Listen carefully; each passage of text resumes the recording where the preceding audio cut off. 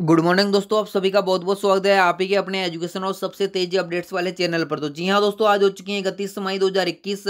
आज, दोस्तों महीने का जो अंतिम दिन है और आज के दोस्तों जान लेते हैं, आज के सोने और चांदी के नए रेट्स